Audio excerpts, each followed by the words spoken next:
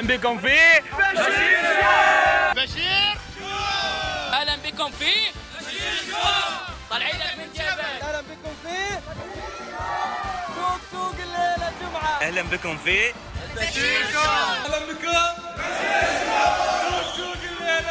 قسم اللغة الإنجليزية البشير. قصر العاشقين أهلا بكم في أهلا بكم البشير.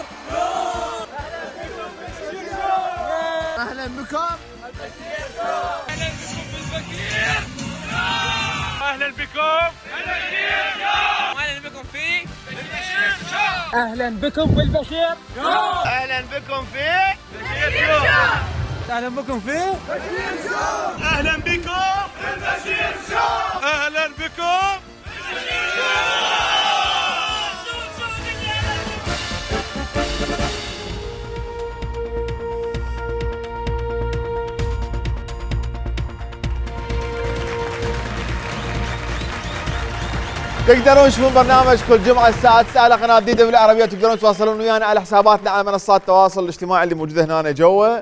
وتقدرون دائما تدزون نشعتكم و سيدي إلينا موجودة. هي وين كانت؟ كانت مجمدة سيدي لأن متقاعصه وما عاد هسه؟ ما عتيد ما عتيد صحيح. إلينا كم؟ كم علينا كم؟ يلا. هلا. فريز ام فريز فريز ام فريز فريز ام فريز والله حلوة شغلة السيد والله العظيم. الواحد قاعد يقوم قاعد يقوم المهم آه، كل نهاية سنة الإنسان فريز كل نهاية سنة لازم الإنسان آه، يطلع بدروس يستفاد من عندها على السنة الجاية ولازم يطلع بعبرة من هذا الدروس يعتبر من عندها. حتى بالمستقبل لا يكرر نفس طبعا هالكلام كله كذب لأن لو صدق نتعلم من الدروس كان واحدنا بالجيتس الله وكيلك يرجع يدشك وترجع مرت الاخ أخويا آه، يضربك ورا صديقي والله ما سوى شيء. يتجي ورا آه. فالدرس اللي نطلع به من سنة 2023 هو مستحيل تمر مناسبة سعيدة على العراقيين بدون احتفال يذكرهم باللي صار وياهم بالسنة كلها. بأراضيهم وممتلكاتهم من قبل مجهولين. تسعة شهداء وسط مدينة بعقوبة رحل عن الدنيا مغدورا.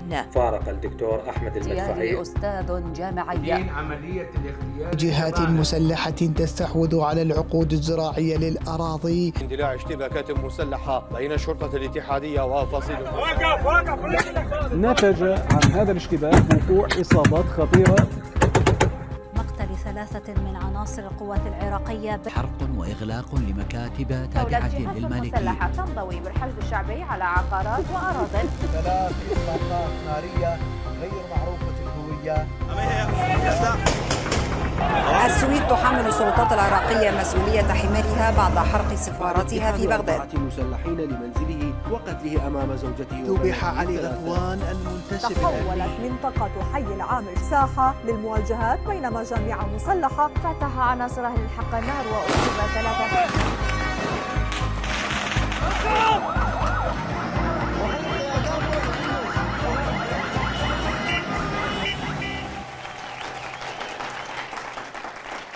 كل ثقافة بالعالم لها طقوسها بالاحتفال بمختلف المناسبات. يعني مثلا هذا احتفال بتايلاند هذا عيد الاستحمام بالطين بكوريا الجنوبية. هذا عيد الرقص على النار باليونان. هذا مهرجان جمع حيوان الموظ هذا لا مو هذا. هذا إي هذا مهرجان الاحتفال بالعر باليابان. هنا عندك عيد ضرب الجيران ببوليفيا. أما هذا فكان احتفال رأس السنة بحي العامر بهذا الاحتفال صار حوار بناء بين السرايا والعصائب أسفر عن عدد من الجرحى. شوية بالحوار بالكلام أحيانا يكون جارح خاصة إذا بقاذفات تفجر المشاعر. فبغداد أمينة فعلا بالنسبة لك في حال انت كنت بالقاذفة. بنص هاي الهوسة السوداني وين؟ أجرى رئيس الوزراء محمد الشاع السوداني زيارة إلى أسر من أبناء المكون المسيحي في العاصمة بغداد. شاركها الاحتفال بأعياد الميلاد المجيد.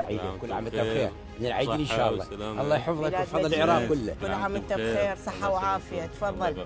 نحن نريد الشعب العراقي يفرح. والله الشعب العراقي يفرح. أهم كل شيء. إحنا إحنا فرحانين. إحنا فرحانين. إحنا مهمتنا وواجبنا شلون نخدم الشعب العراقي ونفرحه. أخوي أبو مصطفى الخدمة واقعت لك بس الفرح لا. مطلوب منك تفرحنا رجاء. ففرحنا حتى لو كاس ما طوبه. قفزة عداء. فرحنا أبو مصطفى فدوة. كيفك؟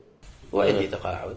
جيد التقاعد آه حد الادنى آه جيد 400 من الصندوق التقاعد. اي من الضمان الاجتماعي. من صندوق التقاعد. قريبا راح نزوده هسه شوي إن شاء الله.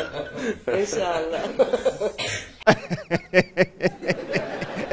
عفوا دولتك هاي كانت نكتة مال قريبا راح نزيد الراتب لهذا ضمن مشروع إفراح الشعب العراقي. مو على مود شيء حتى نضحك ونفرح إحنا هم والله قريبا راح نزيد الراتب اضحك اضحك laugh زين شنو كان الحوار بين السوداني والعائلة المسيحية اللي طبلهم السوداني على غفلة شلونك أبو شلون خدمات المنطقة؟ وين كانت وظيفتك؟ قال لك جباي عليكم؟ موظف حكومي كنت؟ خلاص جيت وين شغلك هسه؟ يدفعون الضمان شلون الشغل؟ هاي الزوليه بيش اشتريتها؟ البارحه إيش تغديت؟ هاي وين مزين؟ تترسون مي آرو؟ شو الباب من طبيت تسوي إيه ليش ما تحطوا له جريز؟ الطرمه ليش ما مسلطيها؟ بالمطر تمسح بالماسحه لو تكفوا بالتنكه؟ هذا التخم تكمه شو دوش بيبي الجديد شنو هاي؟ ترى من قاعد تسوي طفيط هاي مو اني ما لا, لا القلفه هاي فناجين القهوه من سهام العبيدي البردات تفصل جاهزه انت إيش قد مواليدك انت إيش قد راتبك انت تخلي جلو سبراي انت بيعصب انت شو الليلي هل حظ بينهم هل حظ بين كل البيت طق فمن دروس هاي السنة أيضا من يجيك السوداني يدق الباب لا تفتحه لأن راح ينفتح عليك باب. نحترم خصوصية الرجال ونعوفه يحتفل مع أبناء شعبه ونرجع لأبناء شعبه، إيش يصير وياهم بالكريسماس؟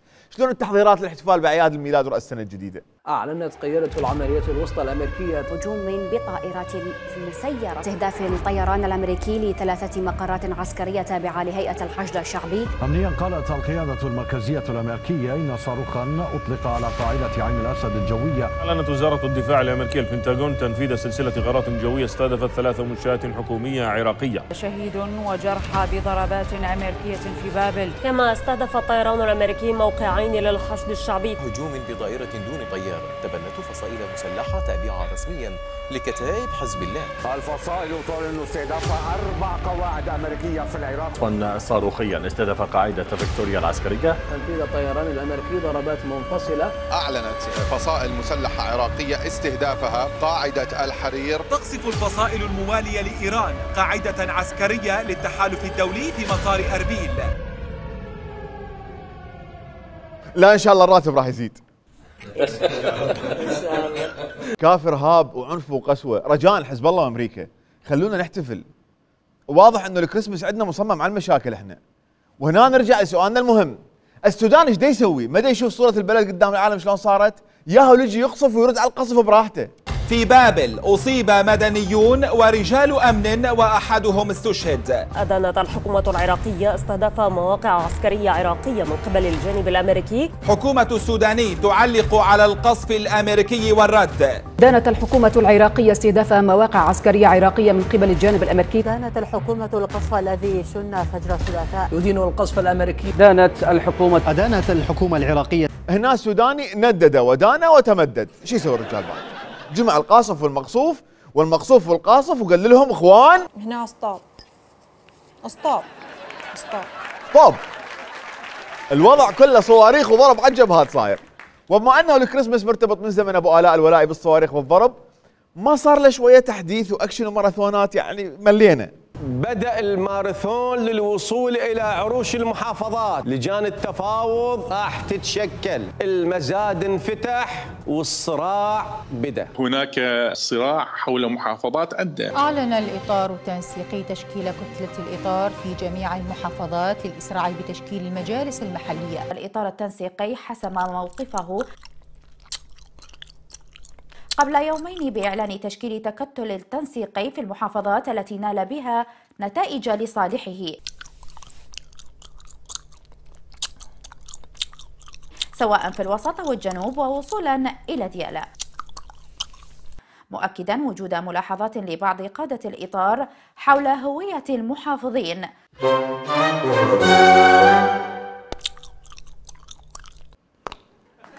قبل كل شيء بدي أحكي قاده قاده الموسيقى ذب العلش من حلقكم. نوري ذب العلش من حلقك. وانت العبادي هم وياه عمار حكيم ذب العلش بسرعة. هذه عيب عيب واحد يعرش قدام امام حمودي. عيب. ماخذين علاشه ملاكه ذولا من يتفاوضون الصر العركة بالعلوكه أقول لك قوه كم محافظه تريدوا هاي الانتخابات؟ اثنين؟ ما يرد من يسمع الرقم. عيشتوا إيش دعوة عيني؟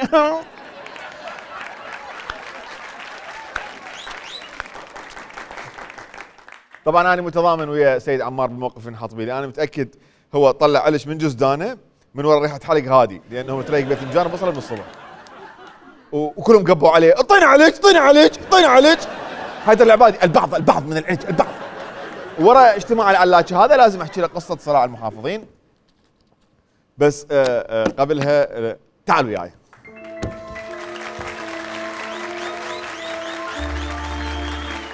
أهلا بكم في فقرة القصة المحروقه قبل ما ابدي بالقصة أكو هواية طلبات جتي على هاي البطانية.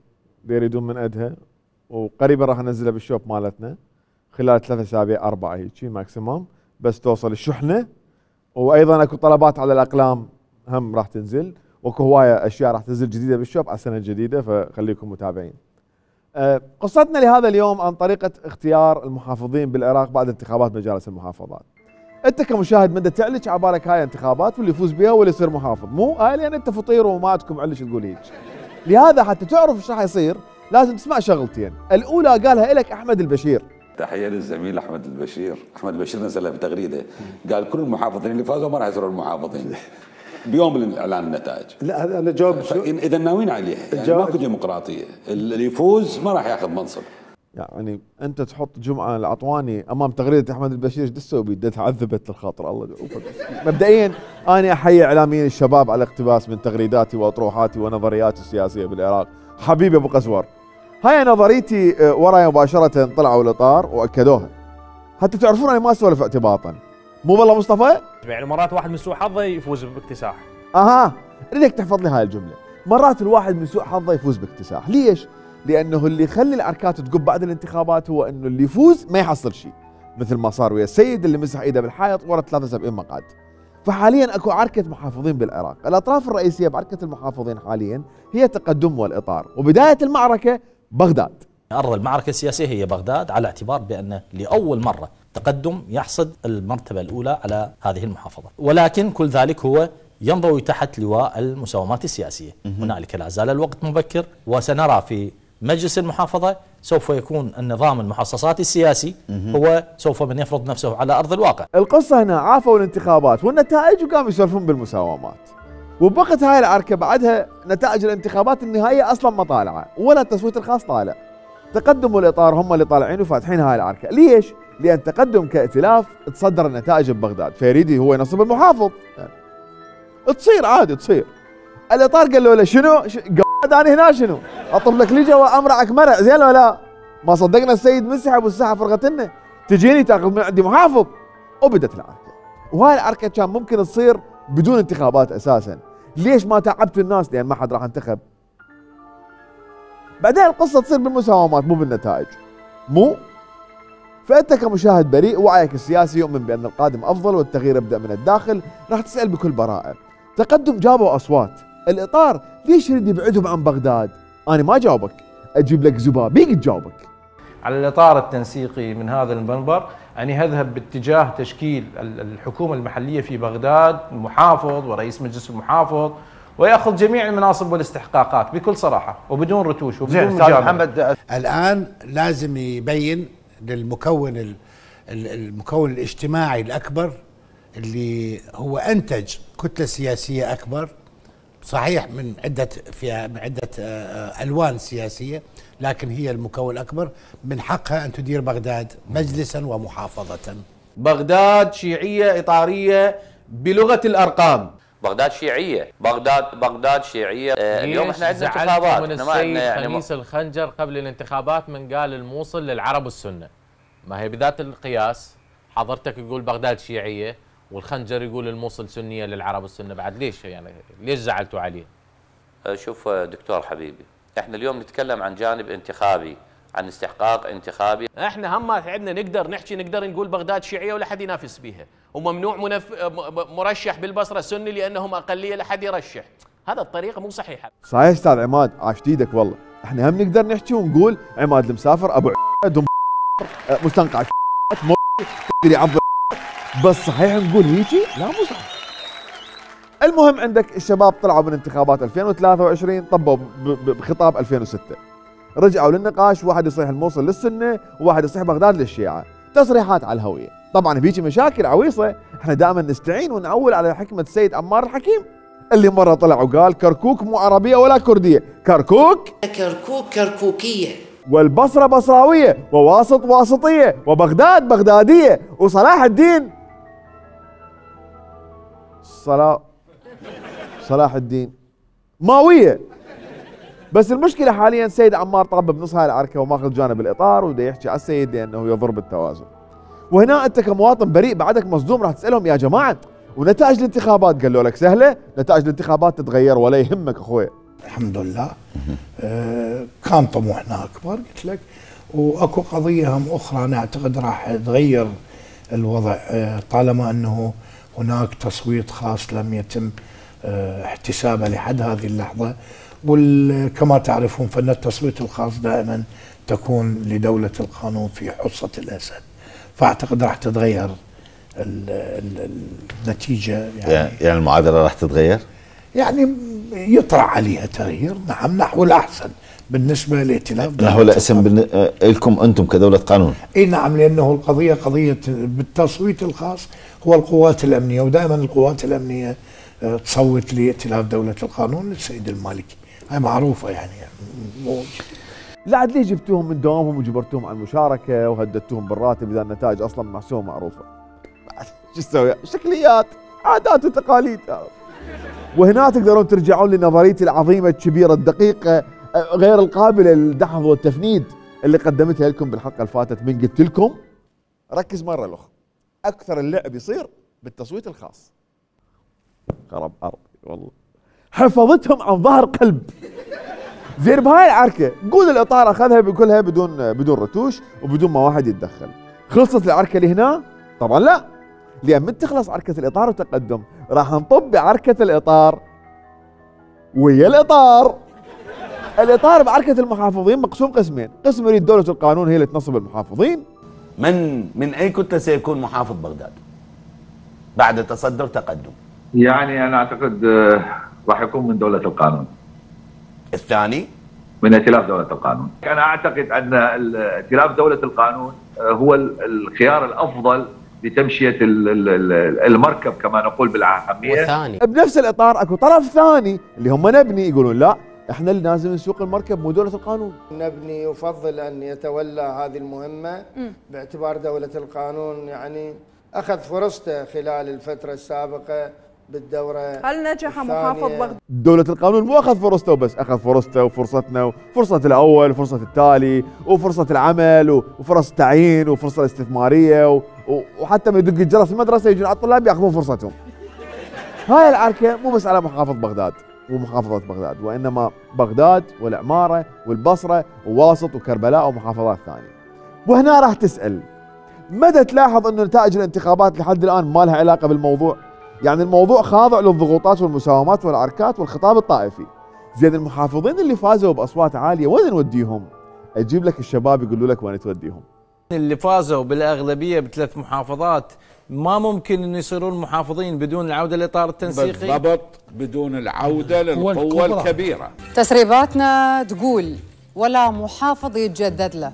وهذا ما اتفق عليه الإطار المهيمن على مقاعد مجالس المحافظات بالوسط والجنوب. المحافظين الذين صعدوا بقوة صيف الخطابي أسعد العيداني محمد المياحي بدأوا يشكلون قلقا. وبالتالي هنالك أطراف بدأت تفكر مهما كان الثمن يجب أن يستبعد. لأنهم إذا ما منحوا فرصة مرة أخرى سيكونون قوة ضاغطة في أهم المحافظات. وهذا بحد ذاته يهدد ال- الزعامات آه، السياسية. خريج مو خريج كلها بالبريج. تجيب أصوات ما تجيب أصوات تروح بالنهاية للقوى الكبيرة تسولف وياك. فنك ليش؟ لأن القوى الكبيرة عندها قوة أكبر من عندها سولفت وياها قبلك حبيبي. فأنت تفوز عافية عاشت إيدك سبع بطل. يلا منا. يلا عندنا غيرك يلا. وهنا راح تطبق نظرية الفايز بالعراق خسران. والأكثر من هذا الفايز مثل ما قالوا لك يشكل خطر على الزعامات السياسية. هو هذا الجواب اللي يوضح لك ليش مرات الواحد من سوء حظه يفوز باكتساح. مثل ما قال لك الحجي مصطفى سند. لأنه تتحول إلى عدو للزعامات وهذا كله من باب يا ديمقراطية يا نعل. وانتهت قصتنا لهذا اليوم. بس قبل ما أطلع من هنا أنا مو سبيل أنا الرئيس!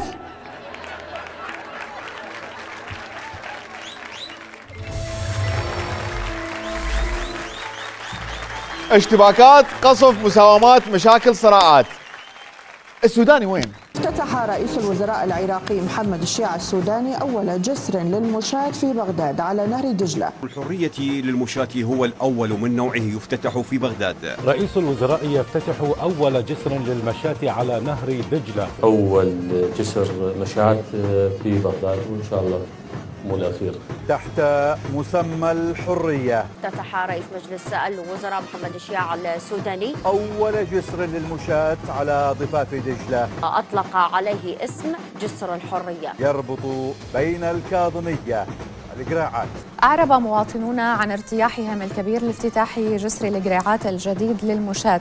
الجسر أنجز بعادي الكاظمي 90% منه. كان منجز و10% بنجين ريكاني أن هو اللي كمل على العموم غير جسر فتح الجسر أنت ليش هالقد متونس بحياتك؟ مخلصها تفرفر وتشرب قهوة يم المسيحيين وجاء الربيع نادر وياك يفرفر، بعد ليش مستعجل وصارف؟ هو صحيح مشروع الجسر لا أنت بديته ولا أنت اللي مشيت به، أنت مشيت عليه ومشيت علي أنا، وهذا أول جسر بالعالم هو اللي يمشي على الناس. بس لو منتظر في سنه النهر اللي جواك مثل ما طلع راح ينشف. وهاي ما يراد لها لا دراسة ولا نظرية بس باوع راح تشوف المي مخطوف لونه وتعرف الوضع. بعد الثلاجة مال قناة دجلة بيها مي أكثر من نهر دجلة. اللي يجي يريد يشمر من الجسر ياخذوه المستشفى مو انغرق تكسر. بس ما عرفنا ليش سميته جسر الحرية إيش عجب؟ طبعا اخترنا اسم جسر الحرية لإعتبارات. ولدلالات لهذه الكلمة لأنه هذه المنطقة كانت في زمن النظام المقبور ممنوع أن تتواصل بين القريعات والكاظمية. أوه جدار برلين كان بين الكاظمية والقريعات بحيث من انفتح هذا الجسر التقوا أهل الكاظمية وأهل القريعات. يجي جو واحد يجي هذا من القريعات وهذا من الكاظمية. وهذا من الكاظمية وهذا من القريعات. كيفك؟ يعني تعرف أكو فرق كبير بين البشر. المهم فهم اجوا يجي واحد شمشم له شو والله ميو اخو واحد بعدين جوي السلام عليكم عليكم السلام آه تحكي عربي اي والله آه سبحان الله انت وين أنا الج... آه سبحان قبائل ما وراء النهر يشوفون هذول كائنات مثلنا لو لا شو والله شو والله عندك أربع ايدين آه شنو آه شنو آه آه شيتوا بالنهار بعدين اعذرونا اخوانكم الكرام معظمين يمكن بس أبو شاهين يعرف السودان إيش جاي يسولف. فخلي يحكي لنا إيش صار بخصوص قطع القريعات عن الكاظمية بذاك الوقت. مشاهدينا رحبوا ويانا بابو شاهين. هلا أبو شاهين. أهلا أستاذ أحمد تحياتي لك والبرنامج البشير شو تحياتي للكادر وشكرا على الاستضافة وحياكم الله. آه اللي ما يعرف أبو شاهين أبو شاهين هو معروف دائما إنه يحكي قصص حقيقية. آه صارت وياه وأحداثها غالبا بين السبعينات وال ال 2023 ودائما معلوماته دقيقة جدا ومبنية على أسس علمية. فأبو شاهين احكي لنا القصة الحقيقية اللي بسببها انقطعوا أهل القريعات عن أهل الكاظمية. باعتبارك شاهد على العصر وصندوق أسود. نعم أستاذ أحمد القصة الحقيقية للجسر اللي يربط بين القريعات والكاظمية هي سبب مشكلة صارت بين أهل الكاظمية والقريعات على مود خمس قواطه مال معجون. هاي يوم من الأيام ومالك علي يمين وهذا صندوق أسود وأول مرة من خلال البرنامج مالتك راح تعرف العالم. يوم من الأيام كنت بالشورجة قبت العيطة بين أهل الكاظمية والأعظمية طبوا على التجار وكنا بحالة حصار وبوقتها. كان بس خمس قواطع معجون موجودات. صحيح صحيح. صحيح 100% وصار مضارب بين أهل الكاظمية والأعظمية وصل خبر الصدام حسين. دز علي قالوا لي دي شلون نحل هذا الموضوع بين أهل الكاظمية والاعظميه لأن بوقتها أهل الكاظمية ولحد الآن يحبون السمك ويتمن الأحمر وأهل الاعظميه القريعات يحبون السمك ويتمن الأبيض. فعلا فعلا الكاظمية يحبون تمن أحمر ويا السمك؟ الاعظميه القريعات واحد من عندهم يحب تمن أحمر والثاني يحب تمن أبيض. وأكو خلاف على تمن كمل عفوا. قبت العيطة بيناتهم قلت له أريد من عندك يومين و15 دقيقة و30 ثانية راح أحل لك الموضوع.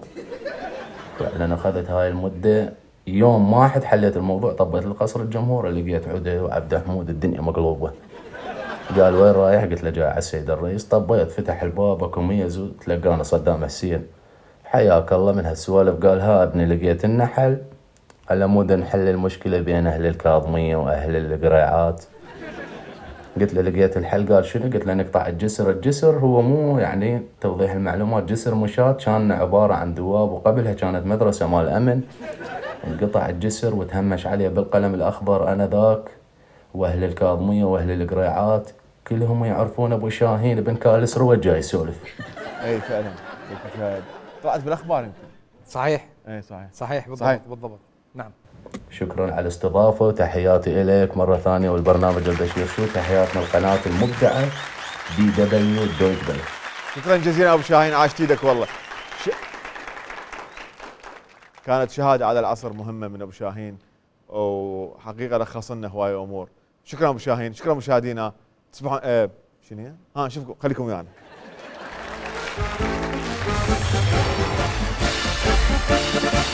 أهلا بكم مرة أخرى. صحيح الانتخابات خلصت. وبعد ماكو مرشحين ينضربون X بس ال X نفسه ما خلص. وبما إنه اليوم جمعة والصلاة على محمد فراح أطبق ال X على غسلة الجمعة. والآن مع فقرة X الجمعة.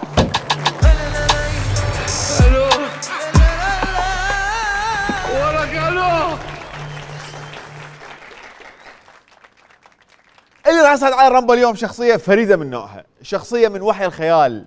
اللي براس أبو شاهين. شخصية ورا ما طلع عبر أبو شاهين من اليمنى سواله حلقة جديدة من صفحات لكنها مميزة. لذلك نرحب بضيفي. إنه المفتي العام لدار الإفتاء. مفتي جمهورية العراق. مع مفتي جمهورية العراق. سماحة مفتي جمهورية العراق الشيخ الدكتور مهدي بن أحمد السميدعي. السلام عليكم. وعليكم السلام وسهلا بك الله. يحفظك. الله يطول عمرك. أهلا وسهلا ومرحبا. يا هلا بالشيخ يا هلا مرحبا تشرفنا. علي تشرفت؟ أنا تشرفت. ليش لا؟ كنا تشرفنا والله. ليش لا؟ منو حضرتك؟ عرفنا. خاف العالم عبالهم أني جبان. حشاك. أنا مجاهد. حشاك. أنا مقاوم. والله. حشاك. ها ها س- سجل يلا سجل. آه مجاهد ومقاوم. وأنا إمام المجاهدين وأنا معلن الجهاد على القوات الأمريكية رسميا وما خايف من أحد. أنا إمام المقاومة وإمام المجاهدين. إمامهم كلهم. هو أوكي. يعني مو حي الله مقاوم رأس الشارع هيك لا لا لا. الإمام الأصلي. إيه بعد. صراحة أنا كنت ال- ال- الدفة الثانية. استيار اليمنى سجل.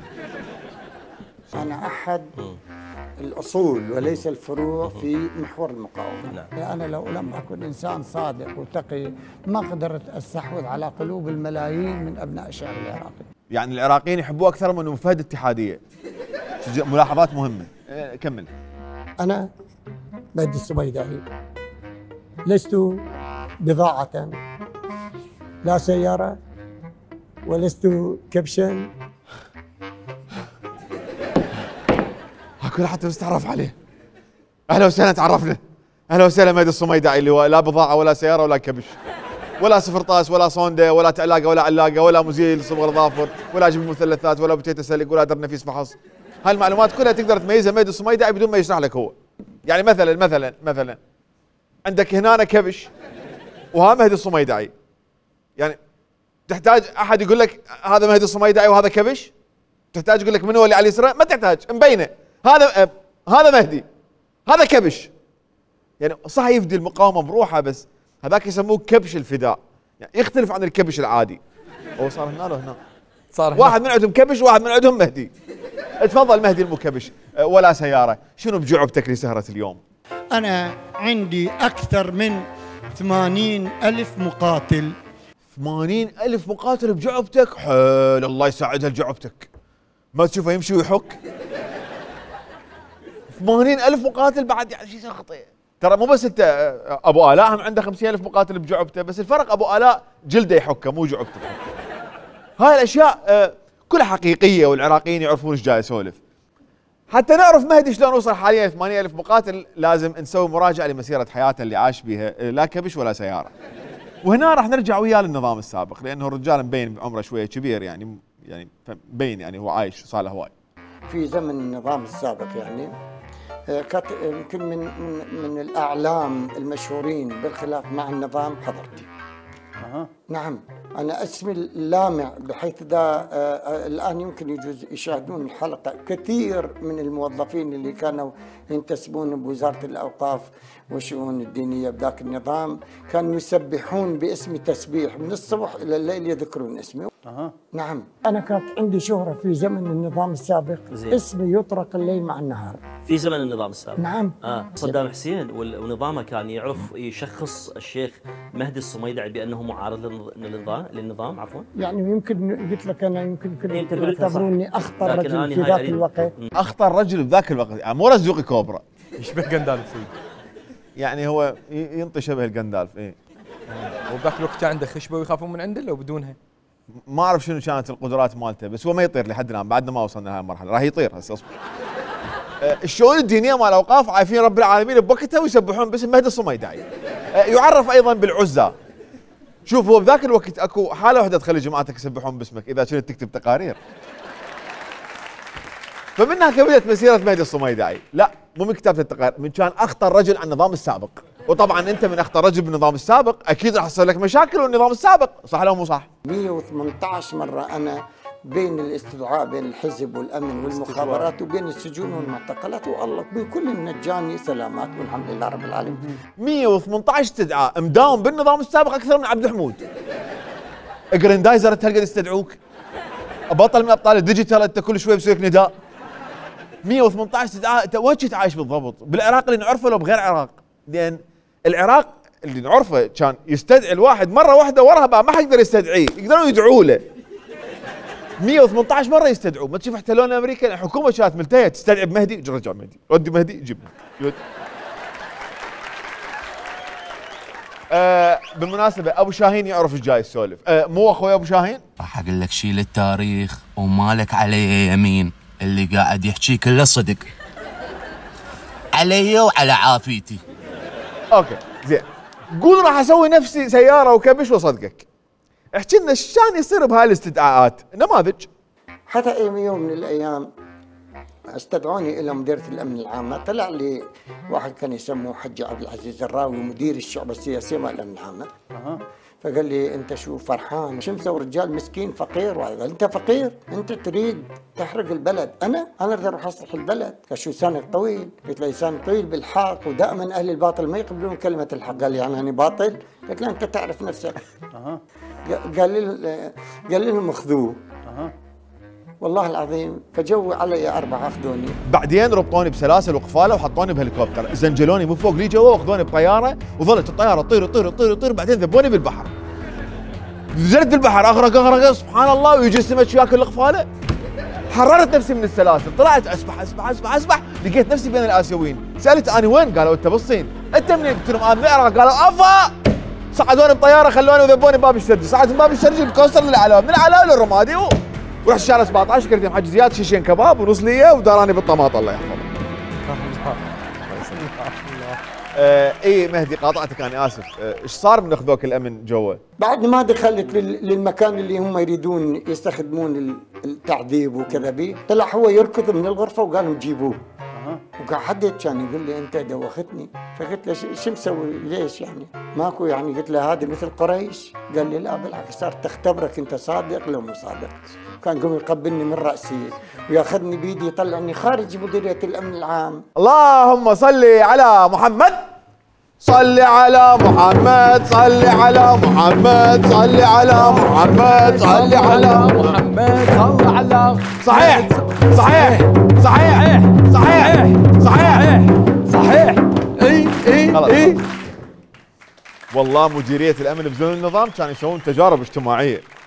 ومدير الشعبه السياسية شخصيا بايسه من رأسه ومطلع له آلاء حسين بالأخير. آه برنامج الصدمة! هو كان برنامج الصدمه الكهربائية طلع بس صدمه أنا شوقت لهاي القصص. اصدمنا بعد اصدمنا. أنا كنت محكوم بالإعدام يعني والله سبحانه وتعالى شفع لي بأمرأة حديدية من أهل الموصل. التقت أبوها كان معوق بمرض جنجري بقدميه وهي حكت للرئيس صدام. وقال لي لها بكرة ادز علي فهو كان يوم اربعاء دز علي الخميس. الرجل قال له سيدي أنا كل شيء مرض عندك. أنا رجل كبير في العمر بس أطلب منك طلب. أكو رجل شيخ صميدعي عنده ثمان بنيات وعنده ولد واحد وأريده من عندك. فقال له أخذ اليوم ندز علي. فعلا الجمعة يعني ليلة الخميس آه، آه، على الجمعة هو كان يوم الرئيس. أنا ليلة الجمعة على السبت الساعة 6 الصبح طبيت يوم الرئيس طببوني يمه فحكيت وياه. آه، الرجل قال لي شو قضيتك؟ قلت ما عندي شيء بس يعني نقول إحنا عبدوا الله سبحانه وتعالى حق العبادة. وهذا قال كليتنا نقول بهذا الكلام. قلت له والله سيادة الرئيس لو عزت الدوري يسمعك النائب. قلت له سيد النائب يسمعك يقول عنك وهابي. فهو ضحك من كل عقله فقال لي على هاي الكلمة مال اخبالات السميداء راح يطلق صراحة. يعني بهذا الشكل كنت مجابه؟ إي والله ابدا وأكثر. يمكن. وضحكوا بكتب القصر الجمهوري. وانتشرت الضحكة في أرجاء كل مديريات الأمن. والفرق الحزبية والحدود وأبار النفط. وأكثر من هذا الموضوع حتى في مرة من المرات دخلت على صدام وقلت له أنت لازم تسوي ديمقراطية وتعتني بالحريات. عيب عليك اللي تسويه. فصدام ضحك واستحى شوية. ابى راح تجي الا حسين يطلع برنامج الصدمة. مهدي حبيبي أنت إذا يسوون وياك تحقيق لازم يجيبوا لك جهاز كشف الصدق. طابع الرئيس بالنظام السابق وحاكي عليه وعلى عزة الدوري وانت محكوم بالاعدام وطلعت براءه وهو منك اخترج بالعراق على الحكومة. تصير هاي تصير تصير تصير. خصوصا بزمن النظام السابق تدرون كان يعني. عندك أبو مازن ليش عندك؟ كان محكوم على سرقة هوايش اليوم فايز بالانتخابات. تصير تصير تصير. آه، أبو شاهين آه، باعتبارك الصندوق الأسود ما مدى صحة هذه القصة؟ وهل فعلا هو هذا السبب اللي طلعه من حكم الإعدام أم عندك رواية أخرى عن هذا الموضوع؟ نعم أستاذ أحمد بخصوص القصة مال مهدي الزبيدعي يوم من الأيام هذا صندوق أسود وما حد يعرف بيه وهسه إذا هو سمعه راح يتذكرني وراح أقول لك حتى التاريخ 27 9 1987 ساعة بالعشرة بالليل بباب الحاكمية كنت أنا بالطابق الثاني غرفة 763 اجى علي ركض نقيب ليث السعدي من أهل دياله قال سيدي كانت رتبتي بوقتها عقيد. قال الحق قلت له شكو؟ قال لكم مرة بالباب قلبت الدنيا بالبكي وياها ثلاث بنات وولد. قلت له خلي يطبون. اجت علي المرة راسا قلت له إيش بيش تبكين؟ ليش تبكين؟ قالت أبو شاهين ما يحكم علينا الجاي من نيران ولا اللي رضع من صدر عجمي يحكم علينا أبو شاهين هذا ابن العراق هذا زين. قلت لها سد حلقك. سد حلقك لا يسمعونك وإحنا بوقتها كنا بالمخابرات. وامر إيش تردين؟ قالت أنا شعرايه بشواربك شمرت علي ومالك علي يمين. شمرت علي كيس بربطة وشوية حرمل. افتهمتها تنخت بالله ابويا كانت عنده مرسيدس 300 قبق اسود لونها ذهبي شغلت السيارة وقبل عشاء بالخامسة. طبيت على مدير السجن اسمه عميد رعد حاليا بكندا موجود. قلت له عميد رعد أكو إنسان اسمه مهدي الزبيدة شايلينه على قضية اسمها على نفس المبدأ. هاي القضية اللي جابها فاضل البراك. أنا ذاك من الاتحاد السوفيتي. طلع لي قلت له بسرعة صعد بالسيارة. راسا اجى مدير السجن صعد ويانا. قلت له إيش عندك صاعد هنا؟ قال إذا طلعت أنا راح انعدم من مكانه. بوقتها ابتسمت أخذتهم اثنيناتهم ورحنا للحاكميه اني مدير السجن ومهدي الزبيدعي اتصلت على صدام حسين قلت له سيدي واحد اثنين ثلاثة هاي القضية. قال اعطيني مدير السجن. حكي وياه قال له رعد. كم واحد نفس قضيته على نفس المبدأ. قال له 400 قال له كلهم تطلق سراحهم إذا أبو شاهين يطلع واحد صدام حسين يطلع. كل إنسان نفس قضيته وأنا أخو هدلة. عافية. ضحك كانت بق التليفون. بوقتها أخذت بيدي مهدي الزبيدي عطبيت عليه للبيت طلعت زوجت العائلة كلها ترسى والسياره شكليتها لاهيل الدنيا انقلبت. ومالك علي يمين علي وعلى عافيتي هاي القصة الحقيقية. شكرا أبو شاهين. آه إحنا حق الرد مكفول بهذا البرنامج لكل الأطراف اللي تم ذكرها بالبرنامج بال- بال- آه، بقصص أبو شاهين ومع مهدي الصميدعي. يلا. شباب خلينا نسويها شاي و- وصدق يلا. آه ال- الصدق موجود. جيبوا لنا شاي حبيب يلا. شاي يمك سيدي جو الميز وين؟ جو الميز سيدي يمك معقوله؟ نعم. اي والله. آه حبيبي مهدي كمل اخويا كمل. بسنة 2002 شكلنا جيش سميناه الجيش الإسلامي العراقي. وتبايعنا أكثر من سبعة آلاف واحد بيعة والجميع اختاروا أن أكون أنا أمير الجيش. فصار عددنا تقريبا سبعة آلاف مقاتل قبل الاحتلال. قبل الاحتلال. من دخل الاحتلال إحنا كنا آه، بالمساجد. إي. بالمساجد. نعم. شكلنا هذه الجيوش. أكو ضباط من الجيش العراقي اللي يداومون في الحكومة واللي أيضا محالين على التقاعد. إحنا كنا صراحة متفقين شيء علني وشيء سري. الشيء. السري إحنا إذا يعني- الحكومة العراقية آه، سقطت الأمريكان نقاتل الحكومة العراقية. وإذا الأمريكان بالحالي- الحكومة بالحالي. إي نعم. قتال. 16 دقيقة عنده قتال. 16 من التسعة ل 12 10 هو قتال. كله خطط ومراوغة واستراتيجيات. يقول لك كنا مقررين؟ إذا الأمريكان فازوا نقاتلهم وإذا لا نقاتل الحكومة العراقية. هسه هاي سهلة نعبرها عادي مو مشكلة. ما تعبر. أكو بزمن صدام جيش من 7000 واحد ضد النظام وأميرهم مهدي الصميدعي وقاعدين عادي في العراق. متبايعين شباب لو شباب شوك إحنا والله ناويين نقاتل النظام بس ننتظر الحرب تخلص والله. وعادي. لا إيش بيه هذا العام كان شارد؟ وش ماله شيخ المقاومين يسموه؟ أكرم الكعبي ليه هذا هسه شارد. لا ما يتم العراق بس هي قدامكم مهدي آه، آه، أمير على 7000 جندي وعادي. آه، آه، ذول هم استدعوهم 118 مرة مو؟ وهم باسوهم من راسهم. متعلمين من أميرهم. هذا كله بالنظام السابق. قول راح النظام السابق وجدي 2003 يعني مهدي يقعد ويسكت. شفنا هو كان امام المقاومه آه، إحنا رحنا في مدينة الصدر. سوينا عملية. كنت أنا أمشي مع ثلاثة وكنا واحد شايل قاذفة واحد بيده بكيسي ورشاشة والآخر رمانات. فإجت سيارتين أمريكية لوريات تحمل جنود أمريكان إحنا ضربناها بالرمانات. حضرتك أنت مشارك فيها كنت؟ هم هذول اللي وياي المجاهدين إيه. ضربوها. وعلى أثرها آه، بدت أكو مشاكل صارت بمدينة الصدر اعتقالات وما أدري شنو. الله جعلها سبب أن تحترق ال ال يعني يصير أكو مقاومة. اوه اوه أنا أول ما سمعت هذا الفيديو بديت فيك على صاحبتك طلعت أنت سبب ظهور جيش المهدي والمقاومة. وأنا عبالي مقتدى الصدر هو اللي حركهم مدينة الصدر. يعني التيار من هيك لازم نسميه التيار الصميدعي اوه شنو هاي العملية ما قلت لنا بيا قطاع أخاف بالأورفلي. وتدري تفاصيل مهمة هاي. بس أنا عندي سؤال مهم هنا. أنت بهاي لحيتك بهذا منظرك طبيت المدينة الصدر وعادي مريت سويت لأبو درع hi bye ورجعت تمارس عملك كإمام مقاومة؟ خاف أبو درع كان يسوي tan بوقتها ومتمدد بسوق العاره وحاط خياره على عينه ما شافك. شلون؟ شو بس تصير تصير تصير تصير. كمل. اعتقلت في سنة 2003 تقريبا في بداية الشهر الثامن. أنا في ناحية الرشيد في المحمودية القضاء المحمودية أمشي بالسوق كانت عندي سيارة double قماره كيه كان ابني صغير يمشي وياي. وإجوا الامريكان آه، لزموني وأنا أمشي بالسوق. فسألوني أنت شنو؟ قلت لهم أنا جاي من الس... من ناحية السعديه من ديالة. آه، عندي شقيقتي هنا ساكنة بالمحمودية. بعد ما أنتم دخلتوا ما عندنا أخبار وجيت أشوفها. وين ساكنة؟ قلت لهم ساكنة بالمحمودية بأطراف المحمودية. تعال ودينا على بيتها. فاني أعرف الشيخ سعد عبد القادر رؤوفي قد يكون هو إن شاء الله يسمع اللقاء. هو مسافر للفلوجه وتارك بيته. فرحت دقيت الباب مال الشيخ سعد طلعوا جيرانه قالوا يابا الجماعه سافروا إلى المحمودية. فهم عرفوني بأن أنا صادق وحلوني عاد أني وابني. اخذت سيارتي ورحت. غير مكنص هذا والله. دائما يطلع من حلق الصدق بآخر لحظات الكذب. الامن يلزموه يريدون يعدموه بعدين يقولوا لا والله عم أنت صادق الله وياك. الأمريكان يلزموه يقولوا لا إحنا آسفين والله أنت أنت صادق ويركب سيارته ويروح. المشكلة بكل اللقاءات هو دي يطلع يقول أنا كنت اكذب عليهم طلعوا زواج صدقوني. وهسه قلت امشيها على مشاهدي بيك يطلعون زواج.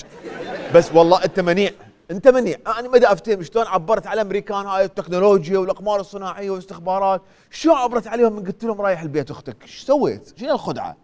هم كانوا يدورون على مهدي الصميدعي آه. إي بس أنا كنت هاشم محمد خليل. ها يعني مو بالاسم الصريح. إي أنا كانت اسمي هاشم محمد خليل وهم كانوا يدورون على مهدي الصميدعي فسألوني على مهدي الصميدعي قلت لهم أنا سمعان بحق مثلكم يعني ما ما عندي معلومة لأن أنا مو من الديرة بس أنا من غير مكان وسامع بي يعني. فطرقوا سراحي ورحت طلعت يعني مشيت أوقف. أو... أنت منو؟ م- أنت منو؟ انت ها... انت مهدي الصميدعي لو هاشم محمد خليل لو سبستيان لو أبو شاهين. انت منو؟ تخب... تخبرني. أنا بديت انسطر والله هذا هذا ما حد يلزمه هذا. اعتقلت خمس سنين آه، عجاف في سجون آه، قوات الاحتلال الأمريكي. يوم واحد واحد 2004 داهمتني قوة أمريكية 30 أباتشي وقفت فوق وما أريد أبالغ بس مئات الهمرات والدبابات وآلاف الجيش دخلوا وطوقوا المكان أنت فهمت المسألة. والأباتشي هنا واعتقلوني يوم واحد واحد 2004 لا هو آلاف ما ما يريد يبالغ هو. 30 أباتشي بس هو ما يريد يبالغ. فعلا فعلا.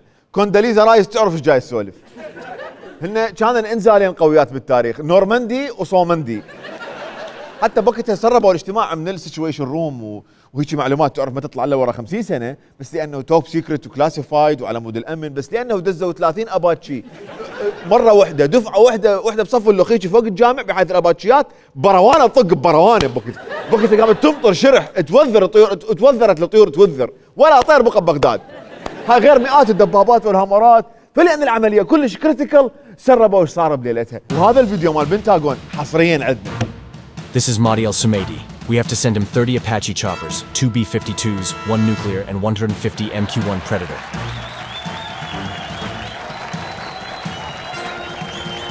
وبعد هاي العمليه الحساسه طلع بريمر بالمؤتمر الصحفي الشهير بوقتها وقال الاتي Ladies and gentlemen, we got him.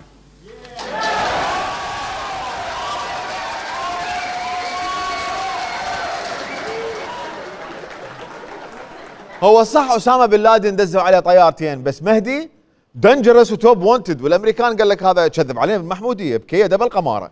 وصوروها هاشم محمد خليل. وزلق من جوا إيدنا زلق. فدزوا له 30 اباتشي للتاكد ومئات الدبابات وآلاف الهمرات حتى بس يسيطرون عليه لأنه تعلموا الدرس. لا يروح يصدق عليهم مرت الاخ ويفلت برا الاخ وبهاي الطريقة اعتقلوا مهدي الصميدعي بشهر 1 1 2004 انتبه بشهر 1 1 2004 1 1 2004 انتبه. انت عبالك لهنا انتهت آه، القصة وخلصت سيره حياته. حبيبي حبيبي مهدي استوى بلش. إيش صار من ذبوب السجن؟ أنا يعرفوني بداخل السجن مكتوب على الملف مالتي ليدر أوف سنة إن عراقي يعني قائد السنة في العراق. أنا كنت آه، مثلا يعني في أبو غريب مسيطر سيطرة تامة على كل السجن. والسجن كان مؤلف من ثمان كمات إضافة إلى يسموها الثقيلة والخفيفة. الجميع ينقادون لما أقول ويسمعون لما أوجه من أوامر. أول سنة 2004 وال 2005 ما كان عندنا خلاف نهائي. كل تمشي وراي. كل السجن يتبعني. يمكن أكثر من 24 محاولة اغتيال. الغاية منها شنو؟ يعني 24 محاولة اغتيال 24 مرة حاولوا يغتالون واحد. الغاية من محاولات الاغتيال يقتلوه غير؟ مو- هال آه، أنا غلط. يمكن السيطرة على السجن؟ ما I don't know freeze you freeze don't move خلينا نفتهم إيش راح يسوي. دقيقة. 24 محاولة اغتيال فاش يعني بالشهر محاولتين. على شخص يقول أنا مسيطر على السجن سيطرة تامة. وهي واحدة من الاثنين. لو كانوا حاطيك في سجن الأطفال أو الأحداث. لو شوية دا تبالغ شيخنا. أنا أمشي في طريق وواحد من الشباب الصغار ضربني بالكرة مع القدم كرة القدم من الخلف. والحمد لله يعني أنا أخذت الموضوع بكل رحابة وبكل صدر. رحابة صدر حتى لا أحدث فتنة. مع العلم أنا مريض عندي انزلاق غضروفي. سلامتك. أمشي على عصا. إلى أن الشاب نفسه جاب معه من عمره اثنين. استقبلوني في الطريق قال لازم حضرتك ما راضي على الوضع. قلت له ابني أنا رجل كبير في السن وعندي مرض ضغط وسكر ويعني قال لي شو تحرك إيدك؟ قلت له إمام وخطيب ومتعود على حركة اليد. قال لي إذا حركتها مرة أخرى أقطعها. ارتفعت الحماوة الحسينية أولا نعم. ثم العراقية. ضربته بالعصا اللي كنت أحملها على رقبته أسقطته أرضا وضربت صاحبه الآخر. والله العظيم قاعد مكفي فيك على واحدة بالكليه طقيت أبا أبو شاهين قبل ما يطلع أبو شاهين بعشر سنوات. ورا هاي جو 12 واحد شايلين قاذفات و30 أباتشي فوقايا وغواصات بالتشيحه مال ساحه السجن. عاد والله أنا صحت على صاحبي قلت له شنو بيدك؟ قال لي قوطية مال بيبسي قلت له شمر لي الحديده اللي تفتح بيها القوطية. شمر لي إياها عاد والله أنا استلمتهم. طاب طيب طاب طيب موتة من الكتل. وبهاي الطريقة ولا واحد بيهم ظل عنده خ- ببكتها حتى قاموا يسموني ببكتها شلاء الخطاوي والله من قمت أطب للكم ال- الزلم هيش تتراجف وتظن خ- والله. يا يابا رجعتني لأيام الخص يابا. سيدي خاف كان جولتي وضربوه بالطوب على راسه؟ إي وضربوه. مو لا لا مو وراها يرجع بالعصا ضرب أول واحد على رقبته والثاني ضربه على رجله والثالث انشمر بعيد فضل الدعاء والحمد لله وشكرا بعدين قاموا باسوا ايده وراها طبعا.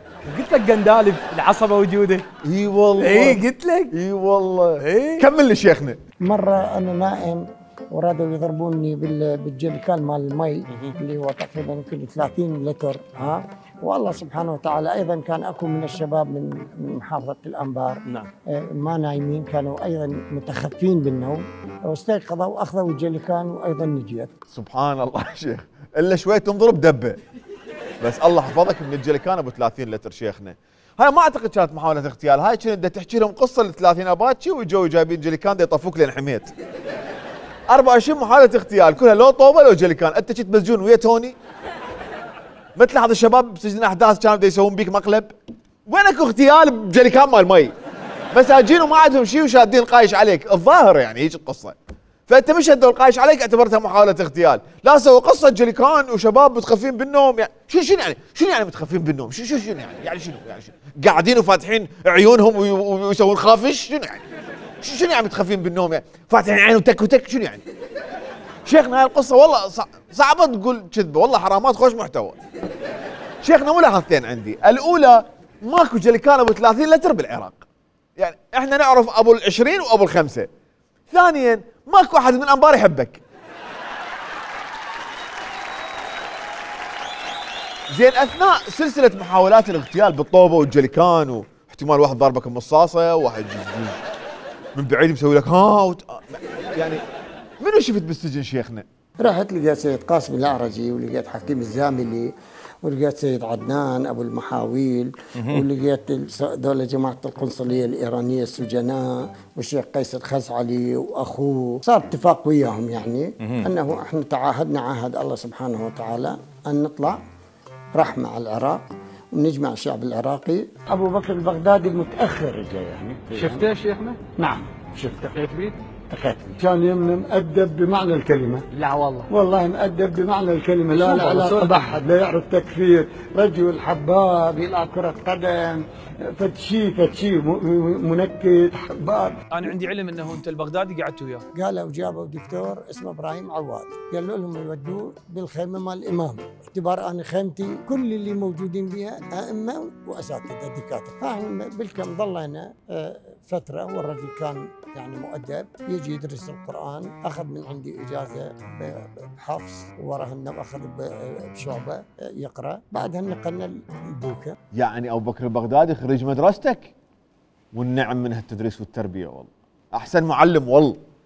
العراق ما ينسى فضلك شيخنا. ما ننسى فضلك على العراق. خو ما تعاهدت وياه واتفقتوا من تطلعون تطلعون رحمه على العراق. المشكلة هنا اللي سواه البغدادي ما كان كذب. يعني قيس الخزعلي وليث الخزعلي وحاكم الزاملي وعدنان أبو المحاويل والنوب ملتقي أبو بكر البغدادي. كلهم من طلعوا وتعاهدوا على أن يكونون رحمة على العراق وفعلا حطوا إيدي بإيد وقاموا يغنون. كون نصير أنا وياك نبني بالوطن ضيمة نحط عبوات رشاشات واللي يحكي طلقة بصر. وحدنا نصير واللي يحكي عبوة بابة نخلي ونسب بالوطن كله والوارد الله اللي يديمه. آه. كملتها رحمة بك ترى يعني لا وراها من طلع الصميدعي من السجن قرر يمارس نشاط سياسي. وأكيد آه، رجل تعرض لمحاولة اغتيال بالجليكانات وكرات القدم ومارس الغاز لايتنج على الأمريكان وحاصل على حكمين إعدام. 118 استدعاء للأمن بزمن النظام السابق. أكيد هيك الشخصيه اكتسب شهرة على مواقع التواصل الاجتماعي أكيد يعني. ندخل على آه، دار الإفتاء العراقية. زين. خطبة الجمعة. أي. يصل عدد المشاهدات أكثر من 2 مليون ونص و3 ملايين مشاهدة. مهم. ها مئات التعليقات. يمكن إذا صار بلا بلا تمويل هاي خلاص. أبداً، يعني هاي أبداً. ناس لله في الله خلاص أي يعني. أي إي. أي أي لله رب العالمين. نعم. نعم. آه، زين. آه، إذا تلقى لك فد ألف تعليق وتطلع خمسين تعليق مو زينة طيب. يعني الأغلبية زينة. الله الله. يدور تعليق. الله. شيخنا أنا آسف. امم أنا مضطر أدقق المعلومة مالتك هذه لأن ورا محاولة قصة محاولة الاغتيال بالجليكان ابو ال 30 شوية الثقة اهتزت شيخنا. فرحت على قناة دار الإفتاء العراقية باليوتيوب حتى أشوف هل كلامك فيما يتعلق بأنه خطبتك تجيب مليونين ونص مشاهدة صحيح لو لا لقيت أعلى خطبة عندك خطبة العيد نازلة قبل ثمان سنوات المشاهدات مالتها 4115 أما أعلى مشاهدات لخطبة الجمعة لقيتها 3917 أما آخر خطبة قبل 14 يوم مشاهداتها 217 دخلت ثاني صارت 218 للأسف والله العظيم. يعني شيخنا أغنية كذاب مال علي صابر جايبه 18 مليون. أغنية كذاب مال ياس خضر جايب 4 ملايين و700 ألف. أغنية كذاب مال ياس خضر وطالب القرغلي جايب 4 ملايين و200 ألف. أغنية دموع تحسين بشر كذاب جايب 4 ملايين و800 ألف. title أكبر كذاب جايب 5 ملايين و100 ألف مشاهدة. الظهر الفن العراقي ما مقصر وياك. يا جذاب. آه جذاب. زين هاي المشاهدات قدامنا وكذبت علينا بيها؟ زين الثلاثين أباتشي والجليكانات وهاشم محمد خليل وكيد دبل قمارة وصدام وعزت و118 استدعاء وبوس الأيادي. يمكن كلهن صحيحات. مو ابو شاهين صحيحات؟ وحق لا إله إلا الله. كله صدق يا شباب. شيخنا بعد هاي المسيرة الحافلة وحياة الأكشن والتهور والمغامرة نريد نعرف أكثر عن بطولاتك بالنزاهة ومحاربة الفساد. شقق سكنيه موجوده نعم. أكو ناس مشقق. مش- مسكنهم هنا بالشقق. نعم. مسكنهم بالشقق. طبعا يدفعون مئة ألف دينار آه، بس. باعتبار أئمة وخطباء وأنا مسامحهم يعني. نعم. مئة ألف دينار. آه، إحنا آه، من أبناء مدينة السامراء أبناء مدينة داومنا حشد الشعبي آه، ويا مهدي الصميدعي. سجلنا أحد أشخاص في مدينة السامراء اللي هي من القلعه. شخص من القلعه سجلنا يمه بمبلغ مادي. ادعوا إنه أكو حشد. حشد شعبي للشيخ مهدي الصميدعي. طيب. الحشد تسجيل بمبالغ مالية. إيش قد يساعد؟ المبالغ المالية تقريبا يعني من الورقتين للست ورقات. أنا ناس دفعت أربع أوراق. أدفع 400 500 الف اصعدك ملازم عقيد ضابط هيك أول شيء الباجات انطناها بفلوس. بفلوس. ب 15000 الباجة المبلغ؟ المبلغ آه، 15000 مهدي الصميدع اليوم يغتصب حق كل المسلمين في العراق حق الأيتام حق الأرامل حق طلاب العلم حق الأعمال. مهدي الصميدع لم يكن مفتيا لم ينصبه أحدا آه، على الإفتاء ولم ينتخبه أحد. دار التي يتزعمها هو لا أعرف من أين جاءت. لا يوجد فيها تشريع آه، قانوني ولا يوجد مسوق قانوني لوجود هذه الدار. مركز تدريبنا صار بنفسه جامع أم الطبول. ما يحدث في جامع أم الطبول هو عسكرة للمساجد هو انتهاك لحرمة بيت الله عز وجل. مهدي الصميدعي ليس موظفا في ديوان الوقف السني بل أن مهدي الصميدعي لم يحصل على المجلس العلمي والإفتائي الذي يؤهله أن يكون إماما وخطيبا. سيارات عندنا سلفادارات اثنين. 1200 مقاتل. عندكم سلفادارات اثنين. سلفادارات لو ثلاثة لو اثنين وهذا اسمها مال موكب مالته. اي مال موكب سنتين انت شو استلمت قد استلمت؟ ما استلمت لا ربع كل ما نروح نشتكي الابنة ابن مهدي الصميدعي لا يخابرنا يخابرنا يقول اسكتوا أو سدوا السالفه شيخنا باعتبارك مفتي العراق اريدك تفتي لي فتوى هو ما هو حكم الكذب في الاسلام وما حكم سرقه اموال الايتام بالاسلام زين ما هو حكم استغلال دور العباده والمتاجره بها بالاسلام شيخنا ما حكم الرشوة وتقديم وعود للناس بالتعيين وأخذ ورقتين على كل واحد و15 ألف على الباج بالإسلام؟ وما حكم 20 ألف فضائي وأخذ رواتبهم من هيئة الحشد بالإسلام؟ وهم ماكو بس 250 واحد هاي إذا طلع 250 زين ما هو حكم الادعاء إنه واحد يقول أنا مفتي بس ولا كبش ولا سيارة ولا مفتي؟ الحكم هو إنه يطلع كذاب كذاب كذاب الزبيدعي كذاب كذاب كذاب الزبيدعي اسمعوا على خير. وكذاب كذاب كذاب الزبيدعي كذاب